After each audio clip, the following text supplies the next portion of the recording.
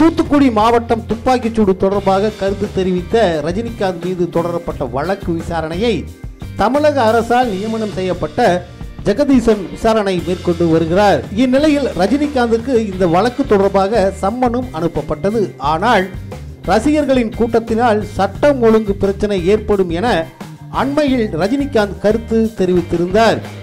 இது தொடர்பாக ரஜினிகாந்திடம் விசாரணை நடத்த வேண்டும். மேலும் தூத்துக்குடியில் ரஜினிகாந்த் ரசிகர்களால் பொதுமக்களுக்கும் வணிகர்களுக்கும் ஏதேனும் பாதிப்பு ஏற்பட்டால் அதற்கு ரஜினிகாந்த் முழு பொறுப்பு ஏற்க வேண்டும் என தமிழர் விடுதலை கொற்றம் தலைவர் வியனரசு மாவட்ட ஆட்சியரிடம் மனு அளித்தார்.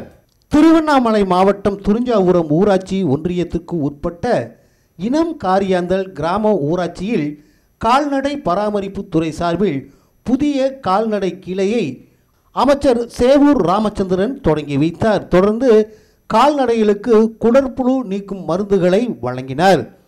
நிகழ்ச்சியில் மாவட்ட ஆட்சியர் கந்தசாமி எம்எல்ஏ தூசி கே மோகன் முன்னாள் அமைச்சர் எஸ் ராமச்சந்திரன் முன்னாள் மாவட்ட ஊராட்சி குழு உறுப்பினர் எம் எஸ் நைனா கண்ணு திருவண்ணாமலை மாவட்ட கோட்டாட்சியர் ஸ்ரீதேவி கால்நடை பராமரிப்புத்துறை மண்டல இணை இயக்குனர் டாக்டர் எம் முகமது காலித் உதவி இயக்குனர் டாக்டர் ஜி வெங்கடேசன் துணை இயக்குனர் என் பாரதி ஊராட்சி மன்ற தலைவர் வேண்டா சங்கர் கால்நடைத்துறை ஆய்வாளர் என் சி லோகு ஊராட்சி ஒன்றிய ஆணையாளர் விஜயலட்சுமி வட்டார வளர்ச்சி அலுவலர் பிரகாஷ் தாசில்தார் கே அமுல் மற்றும் கால்நடை மருத்துவர்கள் ஆய்வாளர்கள் கால்நடை பராமரிப்பு உதவியாளர்கள் அரசு அலுவலர்கள் உள்ளாட்சி பிரதிநிதிகள் கூட்டுறவு சங்கங்களின் நிர்வாகிகள் விவசாயிகள் பொதுமக்கள் உள்ளிட்டோர் இந்நிகழ்ச்சியில் கலந்து கொண்டனர்.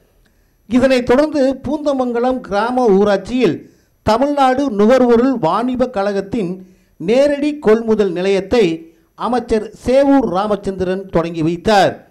நிகழ்ச்சியில் எம்எல்ஏ தூசி மோகன் மண்டல மேலாளர் எஸ் ஆர் கோபிநாத் முன்னாள் எம்எல்ஏ ஏ கே அரங்கநாதன் உள்ளிட்டோர் கலந்து கொண்டனர்.